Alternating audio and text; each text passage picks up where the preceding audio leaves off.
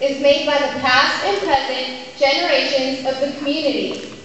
Henry Miller, our May Day Fair founding father, had to have some magic up his sleeve, or in this case, his cowboy hat, to be able to put together a simple picnic for his employees and their families that would someday transform to be one of the most successful county fairs in the state of California. Whether it's the enchanting lights at the carnival rides or the enticing smells of all the different kinds of food, there always seems to be a sense of magic wherever you go on these fairgrounds that first week of May. As I look back to some of my first magical visits to the May Day Fair, I remember it with fond memories of elementary school field trips, the tiny princess pageant, scrumptious cinnamon rolls, and yes, the pony rides. As a child, the magic of the fair meant riding rides and the petting zoo. Now, I have come to realize where its true magic is created. The magic is made by the community. At all points of the fair, people come together to participate in the various activities the fair has to offer. Whether you're entered in a competition or just watching one, it is difficult to not feel the magic between everyone in attendance. Being able to exhibit animals has undoubtedly given me an insight on what the magic of the fair is all about.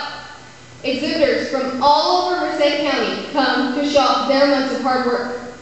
Though it is a competition, everyone is willing to lend a helping hand to those who need it. The agricultural aspect of the fair reveals its true colors.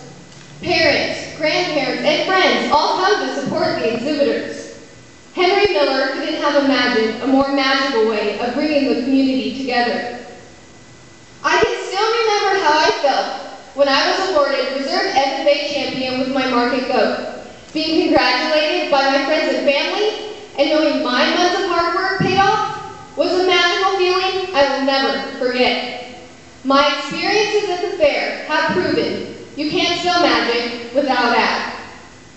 The magic at the fair isn't just made by the lights at the carnival or the food on Midway. It is made as families and friends of all ages come together to enjoy the fair. The May Day Fair has always been a place where many generations can join as a community to celebrate each other's presence and our culture. And I know today you can all feel a bit of magic in the air while all the community is getting ready to don their cowboy boots and jackets for that magical breeze that always seems to choose to blow those first few days of May. I hope this community, community tradition continues for many more years to come, as our future generations may be able to feel the magic at the May Day Fair. Thank you.